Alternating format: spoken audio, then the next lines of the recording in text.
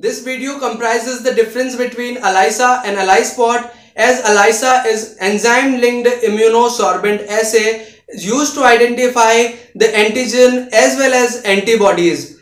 As in the case of ELISpot, it is a more advanced form of ELISA which use some different technology to identify the antigen as well as antibody. So this becomes so interesting to know the difference between the ELISA and ELISpot.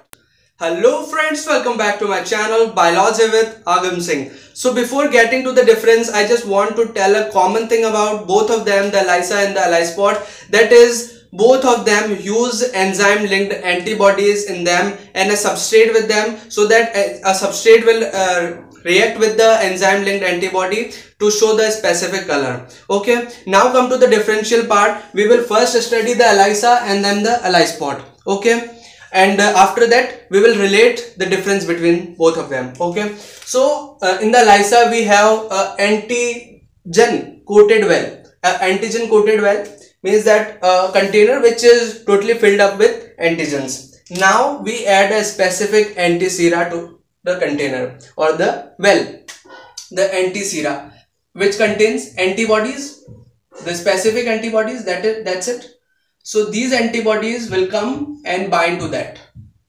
I will make a antibody here that will bind to it. And the antibodies which not bind will uh, up, mm, come upper side. Okay? Now in the this is the first step. I can mark it out.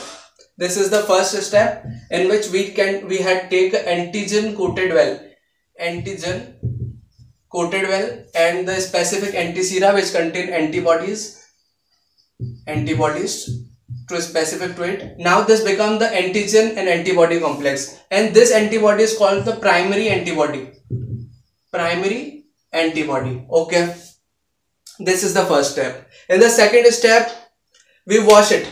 We wash the container so that the unbind antigens and antibody will washed up. Okay. Now in the second step, washing. Washing is done that will wash up these antibodies and let the uh, antigen antibody complex be there. Okay. Uh, let's make it.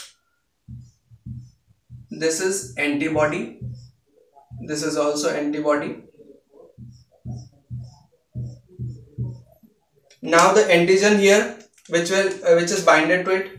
This is the antigen binded to it. Okay. Antigen antibody complex is there. Okay this is the second step in which we had done the washing. Second step. Now in the third step we added. Uh, the second and the third step is uh, just like combined. We can see that. Now in the third step we add the enzyme linked antibodies here. Enzyme linked antibody means that this is the antibody I make it here. This is the antibody. Normal antibody but it contains some enzyme linked here it is uh, linked to an enzyme. If I make it uh, red this is the enzyme which is linked to this antibody. So this is the enzyme linked to secondary antibody because primary antibody is here there there is a secondary antibody. So this antibody will come and bind to this. Bind to the anti uh, the primary antibody. Okay this will bind and this contains a enzyme. That's why it is known as enzyme linked immunosorbent assay because this uh, secondary antibody that is enzyme linked is attached to the primary antibody. Now after adding this this antibody uh, will bind to this primary antigen antibody complex. Okay. Now in the third step what we done? Now in the fourth step uh, what we done? We add a substrate here. What is the substrate let's make it with black color okay? The substrate. The substrate is here. This substrate will bind to this antibody uh, this secondary antibody uh, enzyme.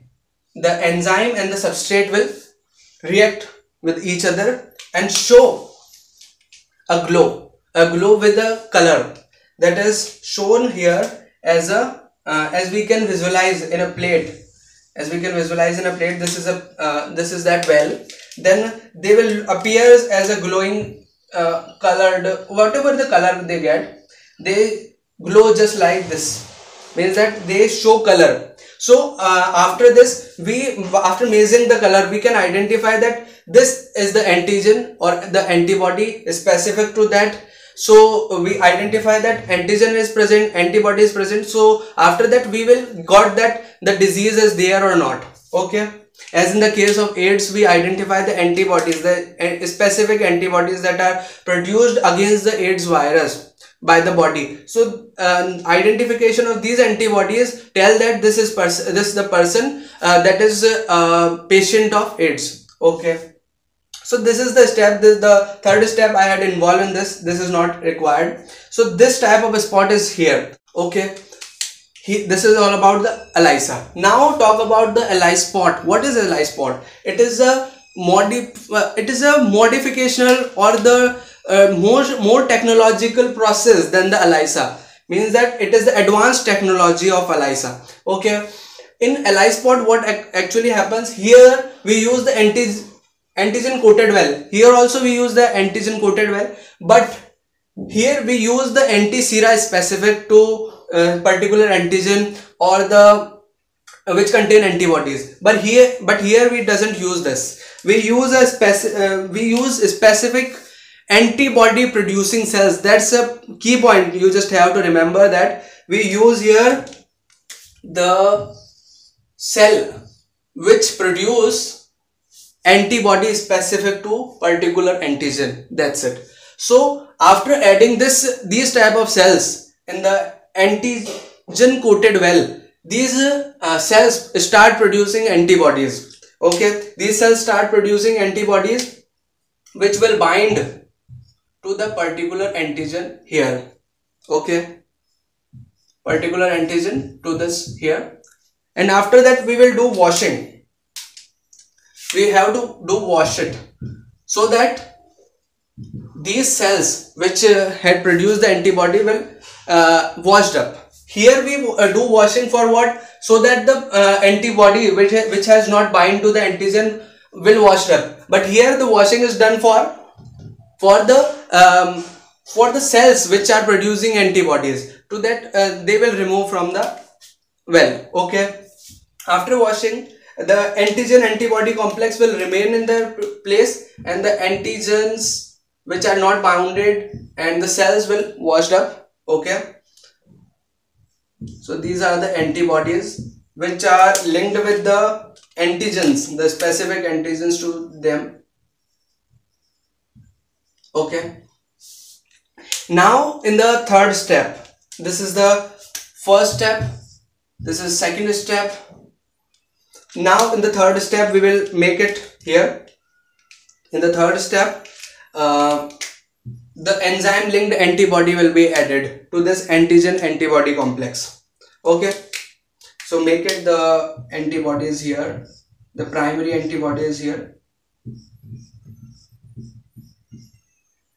Okay? Make the antigen binded to it. Okay? Now the enzyme linked antibody. As I had shown here this antibody also is used here. So this antibody will bind to it. Will bind to this. Okay. This is binding of this antibody to that. It contains a enzyme linked to it. It is the secondary antibody here. That's it. So after uh, adding this we have to again wash it wash it so that uh, um, this is the fourth step washing. So that the remaining antigens or antibody will uh, means that enzyme linked antibody which is not attached to the primary antigen antibody complex will washed up. And after that I'm making here the fifth step. Uh, this is we add substrate here. The substrate again react with the enzyme and show a color. Here the spot is not small here the spot is bigger than the ELISA here the spot is bigger more bigger here the spot is more bigger than the ELISA which become more easily visible than in ELISA. So this is the latest technology. So because in this we use the refine firstly we just have to um, refine that particular anti-serum and after that uh, antibodies we just have to find out and then we will add. Here we directly add the cells which produce antibodies. So this is the difference. That is more easier. So this is more technical nah that's uh, not more technical. Here the, we use more technologies but here the less effort is done and more result is obtained. As a, as more result is obtained as a bigger spot is obtained here and here is a small uh, small spot is obtained. So that's why it is known as ELISpot.